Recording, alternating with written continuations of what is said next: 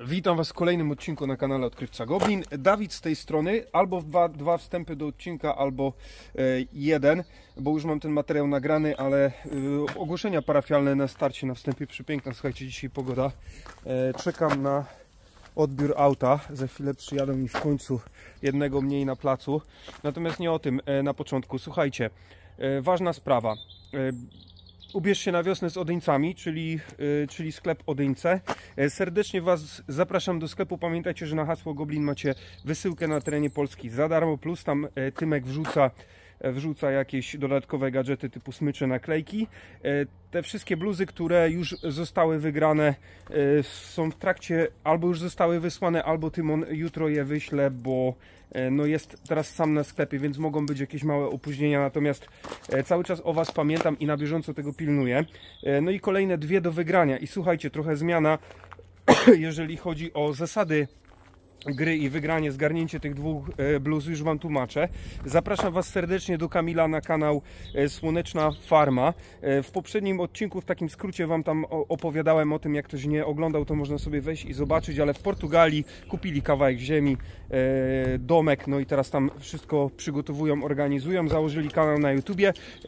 Chciałbym Wam, chciałbym wspólnie z Wami im pomóc w rozwoju tego kanału, dlatego dwie bluzy będą do zgarnięcia u nich w odcinku i jeżeli klikniecie w opis, będzie link do Kamila kanału i przypnę też w komentarzach, żeby był łatwo dostępny. Co trzeba zrobić? Wystarczy, że wejdziecie do, e, w ten link e, i u niego pod filmem zostawicie komentarz o treści farma. E, Pamiętajcie, żeby zostawić subskrypcję, łapę do góry u niego na kanale. Co robisz? Szatan, nie pies. Także zostawić tam suba, y, łapę, komentarz o treści Farma, link do ich kanału macie w opisie filmu, a ja za tydzień wylosuję kolejne dwie bluzy z, y, z, od nich, y, spod ich filmu. To tyle, jeżeli chodzi o wstęp do tego odcinka. Aha, no i osoby, które wygrały bluzy w poprzednim, zamieszanie straszne. Macie tutaj po lewej i po prawej stronie. Nie przedłużam, zapraszam Was serdecznie do oglądania. Radio ptaki odpalone, pięknie grają. Co szybkiego czeka trzeba zrobić? O, coś tu słuchajcie, puściło. Nie pamiętam co tutaj było, ale rośnie. No i liście od tej rzodkiewki widać, że puściły tak. Takie szersze się zrobiły przez to, że przeplewiłem. Dobrze to wygląda. Y, Pomidora i ogórka, którego kupiłem w poprzednim odcinku, mam w domu. Muszę sobie ten tunel najpierw przygotować. Ale zrobię to wszystko razem z ogrodzeniem, jak y, skończę kampera.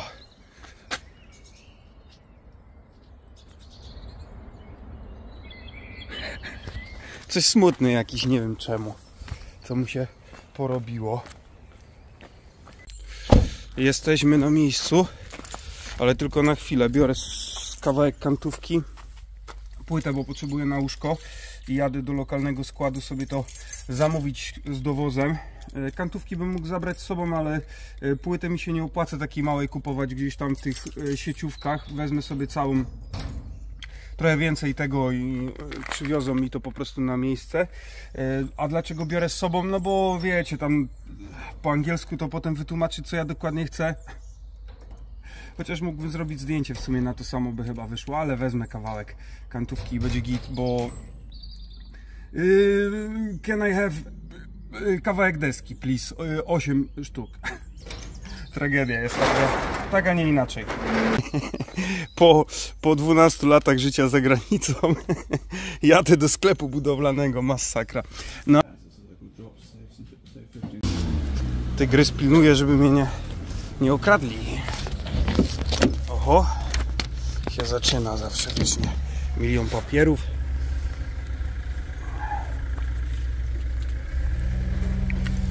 Mógłbyś się już coś nauczyć pożytecznego, jakiś otwierać drzwi od auta czy coś, nie wiem. Bym miał trochę w życiu lżej. 76 funtów, tyle zapłaciłem za belki i płytę.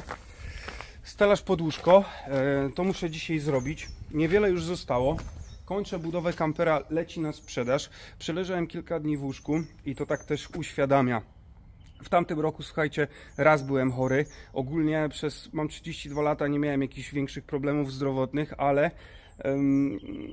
takie sytuacje uświadamiałem, że gdyby się coś rzeczywiście stało, wykluczyłoby mnie na, na dłużej, no to ja przez te 12 lat nie miałem żadnego ubezpieczenia zdrowotnego. Karolina mnie w tym uświadomiła jakiś czas temu i ogarnąłem sobie to ubezpieczenie z Cezarem. Słuchajcie, to nie jest żadna e, współpraca. E, nagrywam wam ten materiał i mówię o tym, bo ja przez te lata byłem nieświadomy i rzeczywiście gdyby się coś stało, a wszystkim wam życzę, żebyście tam, wiecie, żyli w zdrowiu i w szczęściu jak najdłużej, natomiast życie czasami weryfikuje i dużo się słyszy teraz o tych wszystkich młodych ludziach, którzy się tam borykają z jakimiś naprawdę ciężkimi chorobami, e, to warto sobie takie ubezpieczenie zdrowotne zrobić. To nie jest żadna współ, e, współpraca reklamowa, e, ale daję Wam numer do Cezarego i macie do niego link w opisie filmu, bo Cezary przeprowadził mnie przez całą tą procedurę związaną z ubezpieczeniem, on to wszystko ogarnął i powiem Wam, że jestem bardzo z tego zadowolony, mega profesjonalne, fajne podejście do sprawy, nie ma żadnego naciągania, kilka opcji do wybrania, tak naprawdę można się się ubezpieczyć, różne ubezpieczenia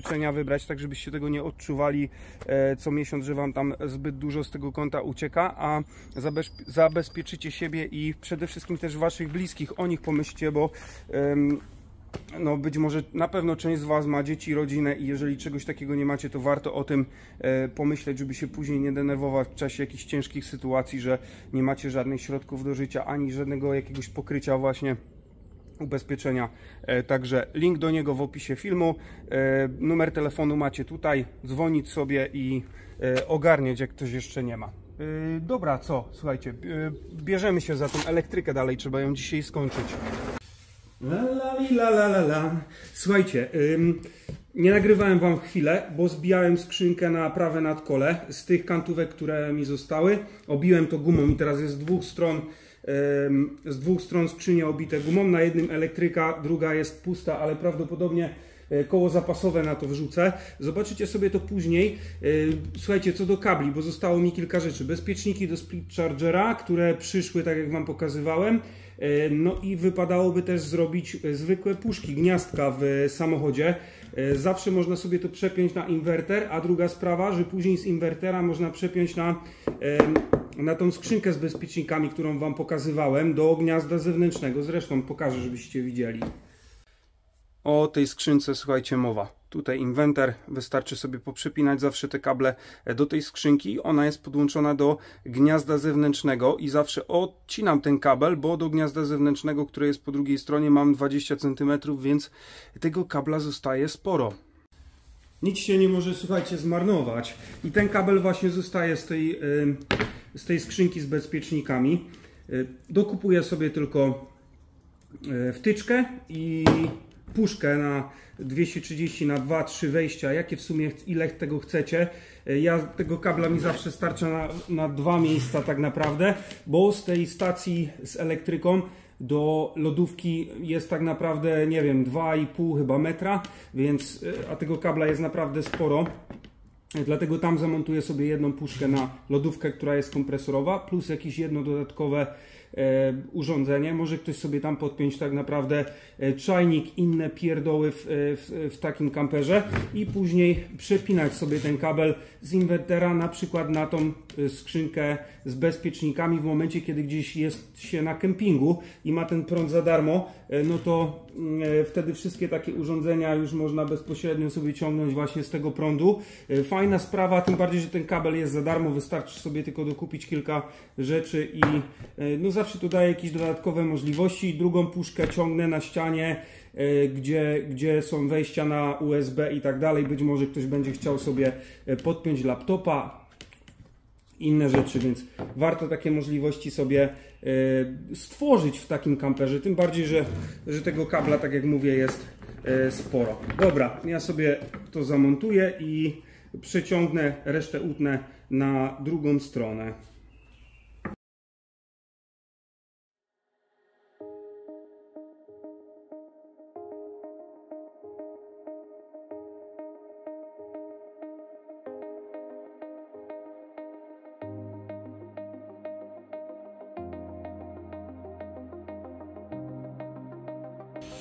Panie Goblin, puszki już wyszły, nie ma. Yy, nie mam puszki, myślałem, że mam, ale będę musiał dokupić.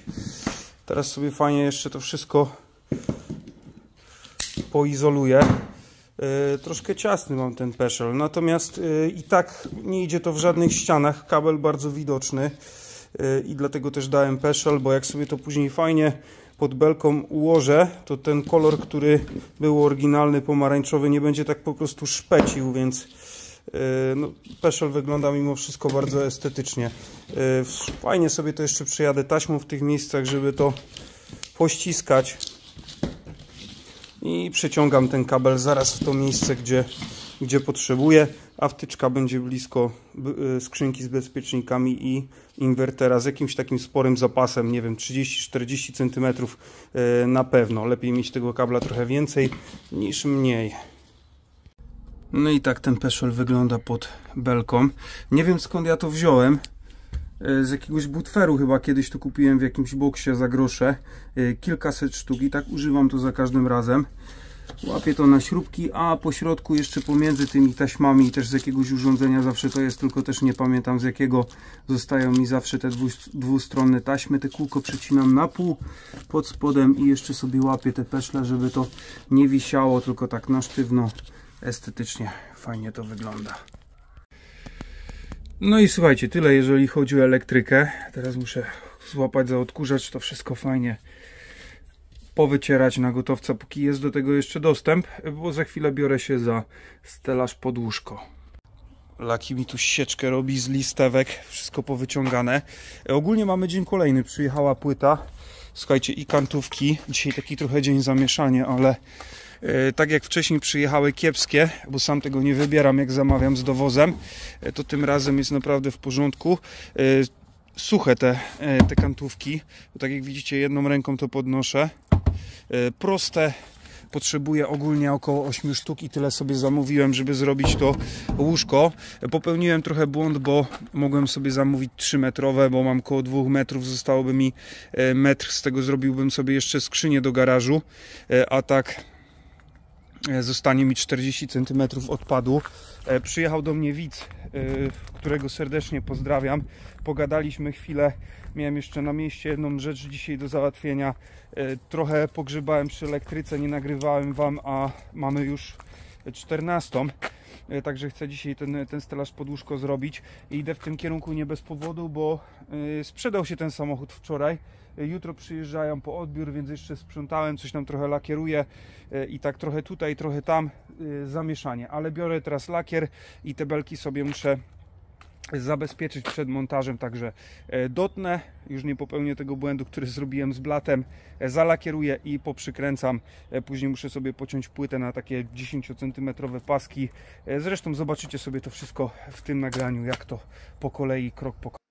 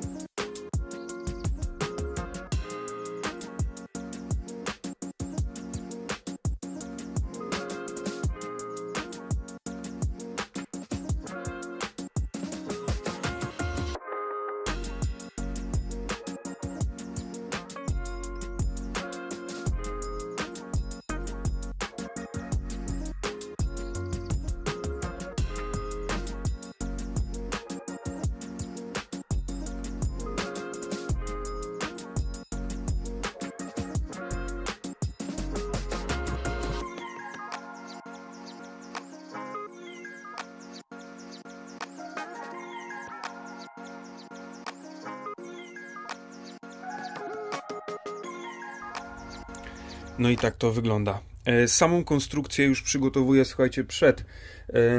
Na samym początku, jak robię wszystkie ściany obicia, z prostego powodu, dwie płyty takiej samej grubości, to ma około centymetra, e, przykręcam śrubami do konstrukcji samochodu. Ostatnią płytę obijam już materiałem, żeby to wyglądało estetycznie z boku. E, na to wchodzi jeszcze mm, dodatkowa belka tą, którą widzicie tutaj poniżej. Dzięki temu mam około 8-9 cm parapet, na którym opieram tak naprawdę konstrukcję całego tego łóżka. No i ta strona, czyli ta ściana e, grodziowa, to też mocno e, wspiera całą tą konstrukcję. Co 20 cm belki, e, płyty wycinam na 10 cm, 10 cm przerwy i tak jak widzicie kolejna, kolejna płyta. Po to, żeby materac od spodu oddychał, to bardzo ważne i istotne, żebyście całej płyty nie kładli, bo ta wilgoć bardzo szybko Wam się pokaże na materacu, no i będzie po prostu do wyrzucenia, a w takim zestawieniu sama konstrukcja łóżka jest w tym momencie no już nie do ruszenia. Posklejane, postrzelane, oparte na konstrukcji auta.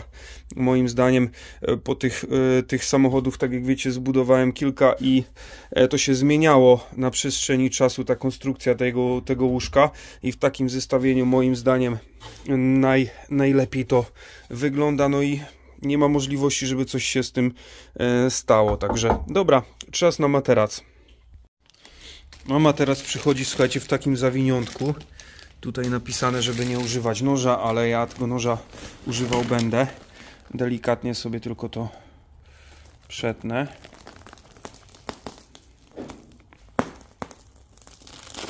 I zostawiam, słuchajcie, tą folię, która jest e, w tym materacu. Nie ruszam jeszcze będzie się sporo kurzyło, a to zawsze też wpływa dobrze na sprzedaż, bo no materac nie jest używany, wszystko jest w środku nowe. Nowy właściciel sobie tą folię już w tym materacu e, ściągnie. E, zrobię już to w samochodzie, bo po zdarciu tej folii on bardzo szybko nabiera na e, ściśnięte, ściśnięte powietrze bardzo szybko rozłoży się ten materac i później będzie mi ciężko już z nim wejść do tego auta. I na pewno się pojawią pytania, Goblin ile to ma? to już Wam mówię. Materac na szerokość ma 1,35 m, 8 coś takiego, do 1,40 m chyba już jak już całkowicie się e, całkowicie spuchnie. E, natomiast na długość od tej wnęki do wnęki mam metr, słuchajcie, 90 96 metr 96 przy moim wzroście metr mamy słuchajcie metr 85 te 10 cm zapasu e, moim zdaniem naprawdę jest no jest dobrze. Jest wystarczająco żeby rozprostować nogi i, i też położyć głowę wygodnie na, na poduszce. Także no jest git majonez Łóżko mam gotowe, poprzycinałem materac, e, bagażnik gotowy na zero, e, elektryka tak samo. E, słuchajcie, czas na ogrzewanie, czyli Webasto. Nie bez powodu takie niskie i też nie bez powodu wrzucam je do tej skrzyni zmieści się tam idealnie, będzie jeszcze sporo miejsca na jakieś inne rzeczy, natomiast e, droga już z tego miejsca do elektryki, żeby podpiąć sobie kable, to tak naprawdę 40 cm, więc nie muszę nic kombinować później z tymi bezpiecznikami i kablami, zostawiam to oryginalnie tak jak jest, e, wystarczająco, żeby to podpiąć. E, pościskałem, pościskałem rurki, obudowę na chwilę musiałem rozebrać z prostego powodu. Przełożyłem sobie ten kabel, odkręciłem, i chcę, żeby ten panel był na zewnątrz, a nie w środku w skrzyni, żeby za każdym razem, jeżeli ktoś będzie chciał odpalić sobie to ogrzewanie, nie musiał podnosić tej klapy i ściągać tej poduchy. E, dlatego wrzucę sobie to na ścianę e, i nie, nie ruszając się z miejsca będzie można sobie to ogrzewanie odpalić. Drugi plus jest taki, że ten wylot ciepłego powietrza dam nisko, więc będzie automatycznie ogrzewał mi podłogę i ciepło będzie uciekało do góry. E, w takie zimne dni, jak ktoś w skarpetkach będzie sobie chciał chodzić po, e, po tej podłodze, no to myślę, że e, efekt będzie na, na pewno satysfakcjonujący, jeżeli chodzi o ciepło. Co jeszcze? Kurczę, zwracajcie uwagę, bo ja po raz kolejny zamówiłem sobie zestaw tego ogrzewania bez tej końcówki, która ma iść na zewnątrz i teraz muszę domawiać i czekać na to. Nie wiem, czemu oni zawsze nie dorzucają tego automatycznie do kompletu. Trochę takie głupie, no ale będę musiał popatrzeć na akcesoria do, y, do, do tego ogrzewania i znaleźć coś takiego, żeby to skompletować, bo na razie będzie taka rura po prostu wystawała na zewnątrz i to nie wygląda ładnie. No nic, zamówię to, ale to wieczorem, a teraz biorę się za mierzenie i wycinanie otworu w podłodze. Ja teraz od co ja teraz, słuchajcie, zrobiłem, to aż sam nie dowierzam. Przecieram oczy i zastanawiam się, jak e, to jest możliwe, że to się stało. E, obracam kamerę i już Wam pokazuję, bo jestem na etapie montowania tego ogrzewania.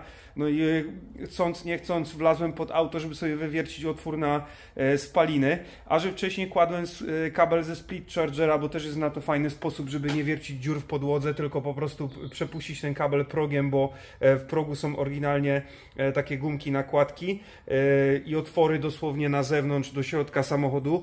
E, no i w taki sposób ten kabel przyciągam, ale zostawiłem tam kurwa śrubokręt w środku i mam już ścianę teraz położoną i słuchajcie, już wam pokazuję. mam już ścianę położoną, nie mam dostępu do tego. To jest ten kabel od split chargera, e, którym którym się, który, który przyciągnąłem sobie z tyłu do elektryki, no i ta część będzie szła do, e, do alternatora, żeby było to ładowanie w czasie jazdy, e, a tutaj ściągałem ściągałem nakładki. Jak ja to zrobiłem, czy ktoś zadzwonił, że zostawiłem ten śrubokręt w środku, no wydaje mi się, że to mój. Zresztą jak wyciągnę i będzie żółty, to znaczy, że ja to że ja to zrobiłem, no ale teraz nie, nie wyciągnę. No i co tu teraz zrobić? Żeby nie uszkadzać tego samochodu. Wepchnę to do środka, to będzie latać. Ja pierdolę, Andrzej.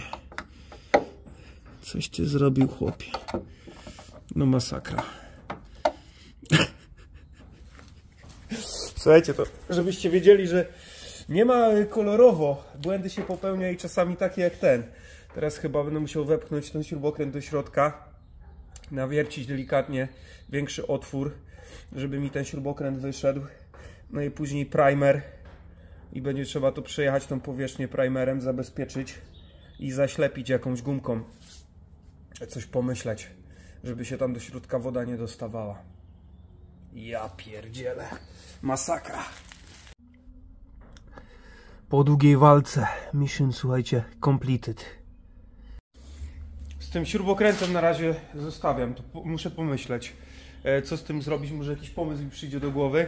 E, już jest po 17, zbierałbym się do domu, bo jeszcze to grypsko mnie tam trochę męczy i tak ciężko mi ta praca idzie, natomiast przyjeżdżałem dzisiaj odbierać tego busa, bo się sprzedał e, ten kamper, który już tutaj stoi dosyć chwilę i będą dopiero za 40 minut, więc jeszcze coś tam trochę pogrzebie.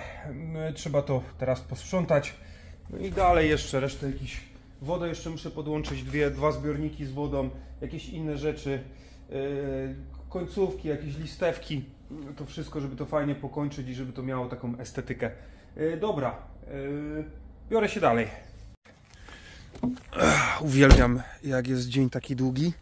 Nie wiem, co oni tu dalej robią, ale przyjechali odebrać to auto i godzinę tutaj stoją i gadają o pierdółkach. Idę się zapytać, kiedy jadą, bo nie mogę ich samych tutaj też zostawić. Yy, słuchajcie, w tym odcinku to tyle. Dziękuję Wam przeogromnie. Widzimy się w kolejnym. Pamiętajcie, Słoneczna Farma. Wpadajcie na ten kanał, jeżeli ktoś dotrwał do końca. Yy, wejdźcie, zostawcie tą aktywność. Dobiją do tego tysiaka, to sobie odpalą też live'a. Podziękuję Wam, społeczność im się odpali. Dużo możliwości, jeżeli chodzi o rozwój kanału na YouTubie. Do kolejnego, trzymajcie się, cześć.